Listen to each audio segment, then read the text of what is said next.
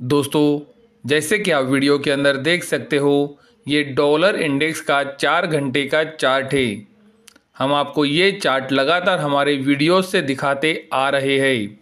हमने आपको ये क्लियरली बताया था कि डॉलर इंडेक्स को 200 एक्सपोनेंशियल और सिंपल मूविंग एवरेज के पास चार घंटे के चार्ट पर कंटिन्यूसली रेजिस्टेंस मिल रहा है। और पिछले कुछ दिनों से ये 200 एक्सपोनेंशियल और सिंपल मूविंग एवरेज के पास ही कंसोलिडेट कर रहा था। आप देख सकते हो आज चार घंटे के चार्ट के ऊपर इसने 200 एक्सपोनेंशियल और सिंपल मूविंग एवरेजेस के ऊपर क्लोजिंग दी है। उसी तरह से हमने आपको inverted head and shoulder pattern भी दिखाया था। चार घंटे के चार्ट के ऊपर आप क्लियरली देख सकते हो, ये inverted head and shoulder pattern से भी डॉलर इंडेक्स ने ब्रेकआउट दिया है। उसी तरह से हमने आपको चार घंटे के चार्ट के ऊपर रेक्टेंगल पैटर्न भी दिखाया था। और आप देख सकते हो डॉलर इंडेक्स ने चार घंटे के चार्ट के ऊपर ये रेक्टेंगल पैटर्न से भी ब्रेकआउट दिया है। दोस्तों, हमें लगता है डॉलर इंडेक्स के चार घंटे के चार्ट के ऊपर ब्रेकआउट कंफर्म हुआ है। डेली चार्ट के ऊपर भी आप ये ब्रेकआउट को देख सकते हो। लेकिन दोस्तों, आज की क्लोजिंग बहुत ही महत्वपूर्ण है। अगर आज ये ब्रेकआउट कंफर्म हो जाता है तो हमें लगता है कि डॉलर इंडेक्स के अंदर तेज़ी और बढ़ेगी। हमने आपको हमारे वीडियोस से ये लगातार बताया है कि हमारा नज़रिया डॉलर इंडेक्स के ऊपर तेज़ी का है और गोल्ड सिल्वर के अंदर गिरावट का। डॉलर इंडेक्स के अंदर ये तेज़ी को आप अभी देख सकते हो। सिल्वर ने हमने आपको डेली चार्ट के ऊपर क्लियरली दिखाया है कि राइजिंग ट्रेंड लाइन से ब्रेक डाउन दिया है। और सिल्वर अभी भी ये राइजिंग ट्रेंड लाइन के नीचे ही कंसोलिडेट हो रहा है। उसी तरह से सिल्वर 200 दिनों के सिंपल और एक्सपोनेंशियल मूविंग एवरेज के भी नीचे है। आप वीडियो के अंदर ये क्लियरली देख सकते हो, सिल्वर ने अभी भी 200 दिनों के सिंपल और एक्सपोनेंशियल मूविंग एवरेज को ऊपरी तरफ़ नहीं तोड़ा है।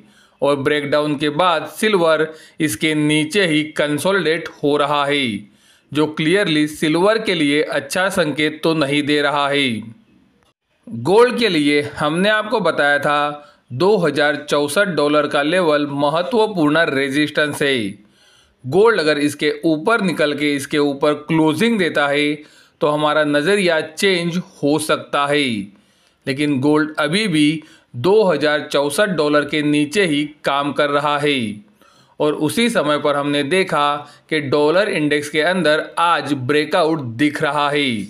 लेकिन दोस्तों, मैं क्लियर करना चाहता हूँ कि ये ब्रेकआउट अभी भी कंफर्म नहीं है। ब्रेकआउट कंफर्म होगा आज की क्लोजिंग के बाद। तो आज की क्लोजिंग डॉलर इंडेक्स के लिए बहुत ही महत्वपूर्ण है। वीडियो ख़त्म करने से पहले मैं आपको फिर से एक बार बताना चाहूँगा कि मेरा नज़रिया अभी भी गोल्ड सिल्वर में तेज़ी का नहीं है। मैंने वीडियो से ये आपको लगातार बताया था कि डॉलर इंडेक्स के ऊपर मेरा नज़रिया तेज़ी का है और आप ये तेज़ी को डॉलर इंडेक्स में देख सकते हो। डॉलर इंडेक्स के डेली चार्ट के ऊपर आज ब्रेकआउट दिख रहा है। लेकिन ये कंफर्म होगा आज की क्लोजिंग के बाद ही। तो आज की क्लोजिंग का इंतज़ार करना बहुत ही ज़रूरी है।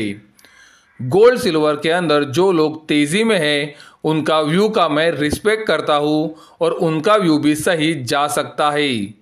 लेकिन मैं आपको सिर्फ़ इतना बता रहा हूँ कि अगर डॉलर इंडेक्स ऊपर जाएगा तो गोल्ड सिल्वर में तेज़ी नहीं बनेगी। अगर गोल्ड सिल्वर में तेज़ी बननी है तो डॉलर इंडेक्स का जो ये ब्रेकआउट आ रहा है, इसे फेल होना पड़ेगा। और डॉलर इंडेक्स का ये ब्रेकआउट फेल होगा, ये रेक्टेंगल पैटर्न के नीचे क्लोजिंग आने पर। लेकिन अगर डॉलर इंडेक्स इसी तरह से ऊपर जाता रहा तो गोल्ड सिल्वर के अंदर तेज़ी नहीं बनने देगा। तो ये वीडियो आपको कैसा लगा, हमें कमेंट द्वारा ज़रूर बताएँ। अगर वीडियो पसंद आता है तो वीडियो को ज़रूर लाइक करें। चैनल को सब्सक्राइब करें और वीडियो को अपने दोस्तों और पहचान वालों के साथ शेयर करना ना भूलें, ताकि ये जानकारी आपके साथ उनको भी पता चल सके। वीडियो देखने के लिए धन्यवाद। Thank you